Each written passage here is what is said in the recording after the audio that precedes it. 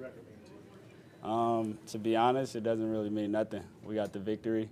Um, we're trying to play and go to a championship right now, and um, at the end of the season, we'll look up and see all the things that we accomplished. But right now, we're focused on one common goal, and that's a championship.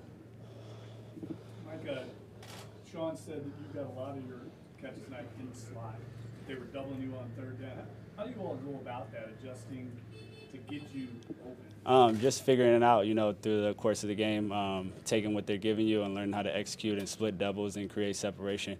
Um, and just preparation throughout the week, talking to Drew, asking him what he likes, what he sees, and just trying to be absolutely where he wants me at the right time.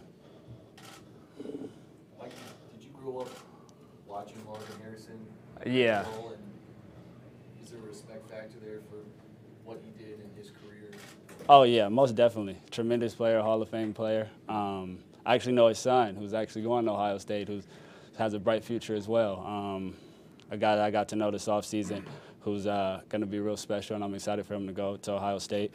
And uh, Marvin is just, it's not many bad things you can say for him. He's a real professional, way he went about his business. And um, just to be in this position right now, it's a blessing. Um, I don't take it for granted, but the fact that um, we still have more goals um, as a team, as far as like not the individual stuff that comes along with it, um, I would be selfish to to be like, oh, you know, I just I just caught all these passes and did all this. Ultimately, I was catching passes to win the game, to help my team, to be in the position we're in now. So I just want to keep catching passes and end up where we want to be. His relationship with, with Peyton Manning, I mean, I'm sure something, like as far as you and Brees, maybe that's a relationship that you guys kind of want to emulate in a way. Like, do, do you look at it in that way at all, like your relationship? We're, we're just so locked in and focused on on playing that perfect game and um, winning as many games um, as we can and staying in the moment. So it, it's just like it's hard. Like you know, I, I broke the record. I caught a lot of passes, but it's just like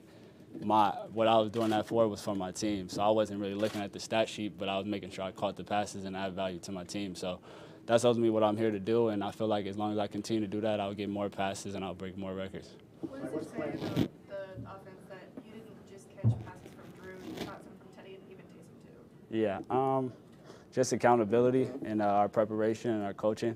Um, we have tremendous coach- coaches that allow us to play fast on Sundays, that put us in position to make big plays, to move the chains. And um, credit to those guys. Um, credit to all my teammates, honestly, for the record. That's really, it was, it was, it was a contributed, it was a contributed effort. Um, they all played a, par- a part in. Like I couldn't, I couldn't catch the pass if Ryan, Terron, um, Larry, Peat, um, Easton, uh, all the guys. Yeah, Ryan. I said Ryan, but um, you can't forget about him. He's been playing tremendous too.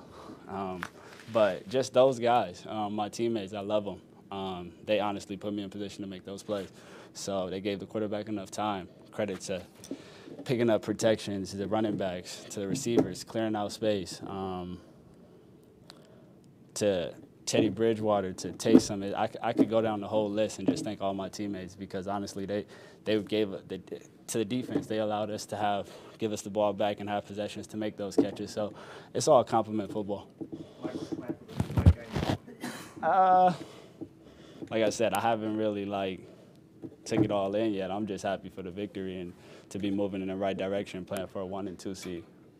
Was the ball used to catch the touchdown pass the same ball that was used? Uh, I haven't even broke it down yet. When you were, um, it seemed like you were going in like after that touchdown pass, you were talking to a lot of your teammates. Were they like congratulating you, or were you going and thanking them? It seemed like you went to Um, acknowledge a lot of different people. Oh yeah, I always do that. Um, you guys probably just caught it there because of what just happened, but I always like to, uh, you know, encourage my teammates, let them know, um, just thank them, and make sure just, you know, make sure we're all locked in and we're staying focused and doing the things we're supposed to do and encouraging them. Just uh, things team players do. Mike, Mike, did you know that was a record catch when you caught it? I mean, did you know that was?